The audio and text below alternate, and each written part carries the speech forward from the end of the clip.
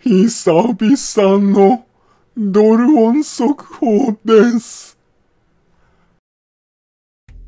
いやー、長かった。実に20日ぶり。久々にドルウォンが1200ウォンを突破しました。いやー、今週は再び1200ウォン超えするんじゃないかって言っちゃってたんで、行かなかったらどうしようかって、ちょっと心配でした。おビールのご用意はよろしいですか？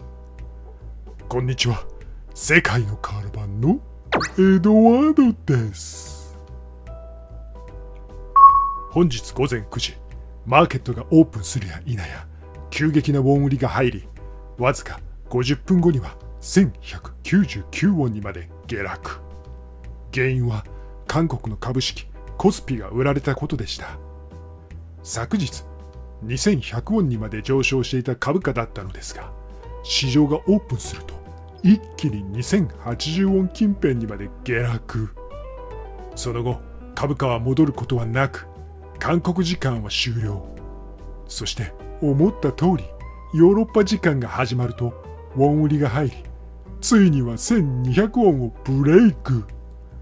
この動画を作成している現在では、1199ウォンあたりを再びうろついていますが、短期、中期、長期、すべてにおいてのトレンドは完全ウォン売りに変わっています。いやー、さすがムン・ジェイン大統領です。アメリカでトランプ大統領と会談しても、マーケットには何の影響もありませんでした。アメリカから液化天然ガスの購入を決定したり、韓国企業の対米投資の増加まで約束したのにね。これが現実なんですよ。さてさて、本日のヨーロッパ時価の株価は、イギリス、ドイツとともに下落でスタート。アメリカ時間には8月の新築住宅販売戸数の発表が控えており、予想以上に悪い結果となれば、アメリカの株価にも影響するでしょう。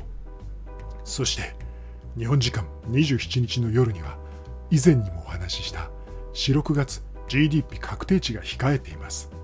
すでに速報値で出ているプラス2.1%より大きく下回ればダウやナスダックの株価も下落するので楽しみにしていてください。それにしても確定値発表前の1200割れは韓国当局としても介入しづらいので痛い。それでも買いを入れるのか？それとも確定値後に介入するのか？今夜の動きは結構面白いですよ。以上ドルウォン速報でした。